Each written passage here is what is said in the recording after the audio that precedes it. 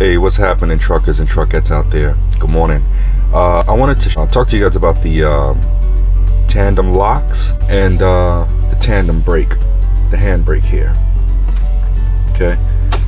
Uh, I wanted to explain to you guys the do's and don'ts and what I actually use it for. Now, uh, after adjusting your tandems, I've been seeing a lot of guys get back out of their trucks. I mean, of course, it depends on the type of uh, tandems that you have. If you have the old uh, uh, hand mechanism uh, tandems, then uh, you won't be able to do this method. Okay.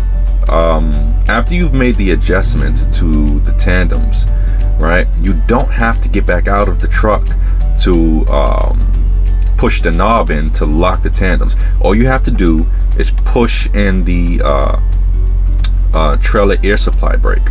That's all that you have to do is push that in and it will lock it.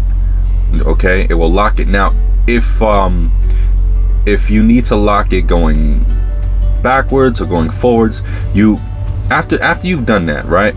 After you push this in, you drive the trailer, uh, you drive your truck at least five miles, no, less than about three miles an hour uh, for about 10 feet.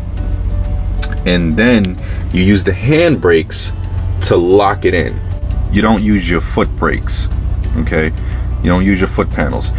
Um, you use the hand brakes, okay? Uh, because uh, when you use the uh, foot brakes, okay, all the brakes will come on and you won't properly lock. So you use the hand brakes. You drive about three miles an hour for 10 feet, pull the hand brakes, the brakes on the tandems will come on, and as the box trailer and your tractor move, uh, the tandems would stop and you would lock into place. Okay, you don't even have to get out.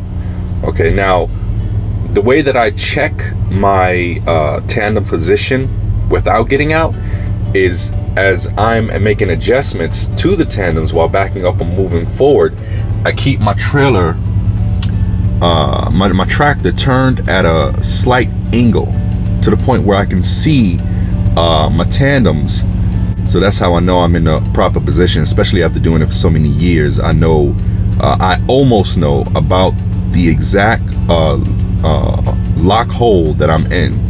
Um, and that only comes from experience. But when it comes to the handbrakes, also, don't use this at all uh, when you're driving down the road or anything like that. The primary reason that you don't use the handbrakes, okay, especially in slippery weather. Don't use it at all when you're on a highway, when you're driving. First, safety.